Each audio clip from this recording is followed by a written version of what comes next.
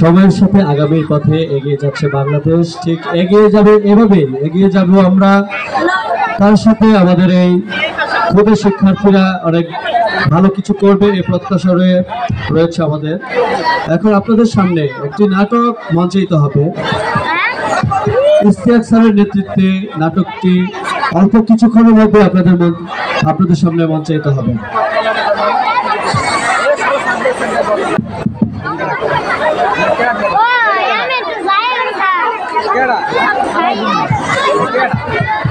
একদম একদম ধৈর্য সহকারে এবং খুব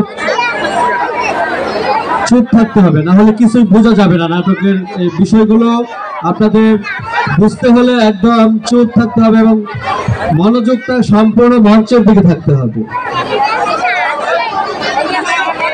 বর্তমান সময়ের সামাজিক প্রেক্ষাপট এবং উপমহাদেশের এই বিভিন্ন সমস্যা সম্মিলিত যে নাটকটি, সেটি এখন মঞ্চায়িত হচ্ছে। আপনারা ধৈর্য সহকারে নাটকটি উপভোগ করুন।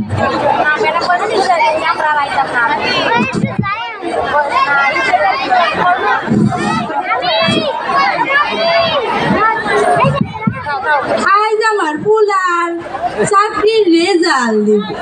ফুলার